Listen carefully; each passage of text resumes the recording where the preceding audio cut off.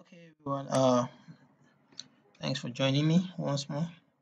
So we'll talk about uh how to actually saving data in our application. First of all, let's start our let's get our app running by saying php artisan serve. Uh, by default, we're using port 8000. So I'm gonna increase. I think I'm gonna increase it so we can see our app very well. So we click on this, we'll launch our app. I think it's launching. So we have the create tax form that we tested, like we say, uh, this is a new tax again. When we'll click our add tax it's kind of like shows a message. So oh, we're having error. I think uh, our server is not on. So remember to always start your XAMPP server. That could be the fact. If you want to know how to debug some Ajax error, you click on your network and you click add tags. You see you have uh, the tags loading right here. Then you can click on it to see what's happened. So it's because our server has started. That's why we're able to actually get that one successful. Can say new, let's say new tags again. You can see saying tag send and successful new tax again is added. So we talked about uh, adding all these tags we didn't talk about the database and how to see where our tax is being stored.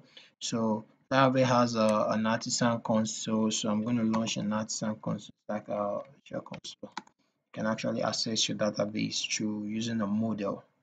The model we created the tax model we created. So you can see it's called Tinker. You can see when you, when you type in the PHP Artisan Tinker, you click enter, takes you to a shell environment where you can run. At least you can see something like 5 plus 5 uh, is equals to 10. You can see it's like a shell, but it's a PHP command like is a design for Laravel. So you can actually see uh, attacks equals to initialize a new app like the same way you call your tags on your application new tax give tags when you see tax uh sorry tax to all.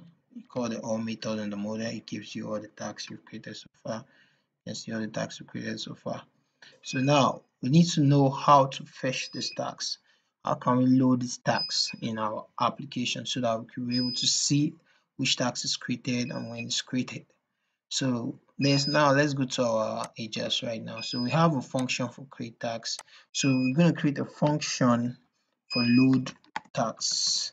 So we're going to call this uh we're going to make it a get request.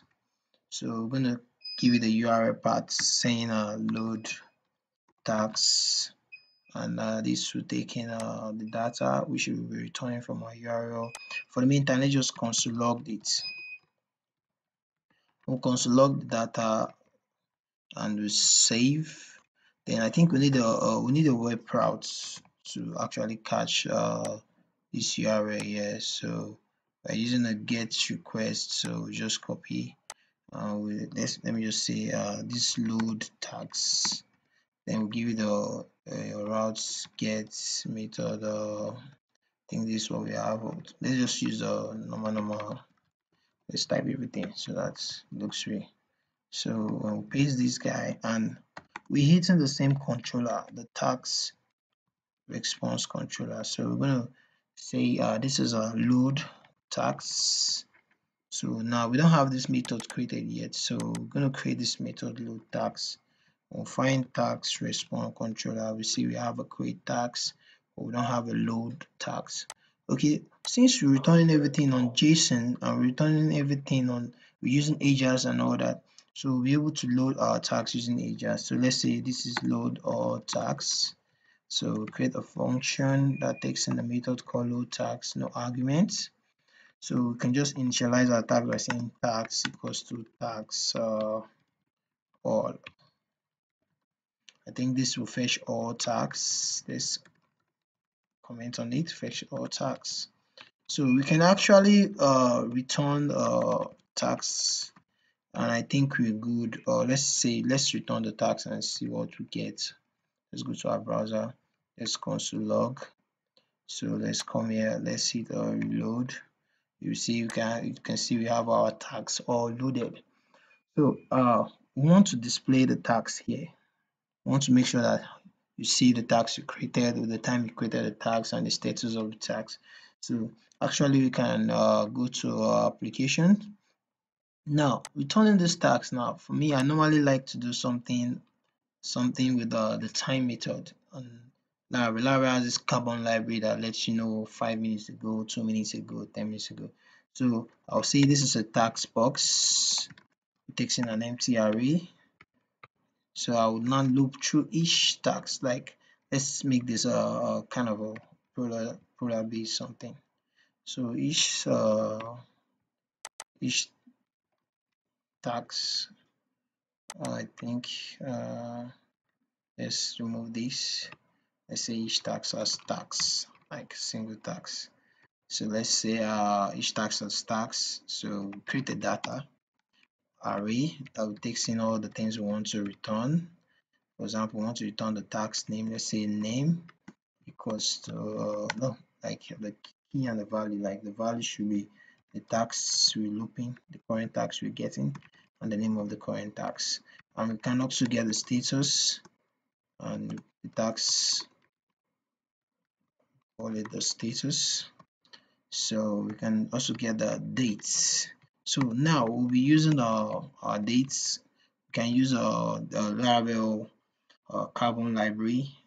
So we can just do something like uh, created uh, at that's our normal dates. You can see when we come here we see uh, updated that we have created that we have updated that so let me zoom in we have the created art we have the updated art. So we'll be using the created art so format it to our readable time. So it's called uh div for humans like a difference in human times.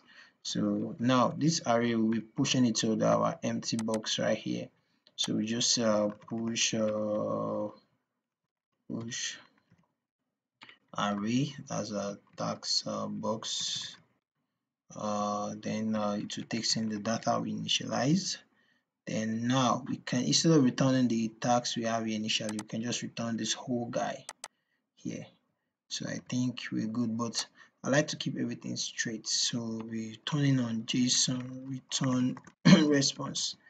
So we're going to do a return oh sorry response uh this will take uh, a JSON format kind of so say uh, tax box. I think we're good. So we'll go to our browser. We hit refresh. You can see we have the same result but you can see we have 20 hours ago six minutes ago. Six minutes ago the one we just created. And if you create a new tax let's say now tax click add tax you see tells you tax created successfully. Then when you hit uh, reload you'll be able to see the last tax created now tax you see six going to go. So now actually displaying this result now this is what we'll do in the next uh